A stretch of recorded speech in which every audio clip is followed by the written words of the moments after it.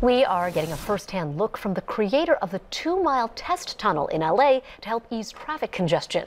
Tesla's founder, Elon Musk, tweeted today this video of his walk through the tunnel beneath the city.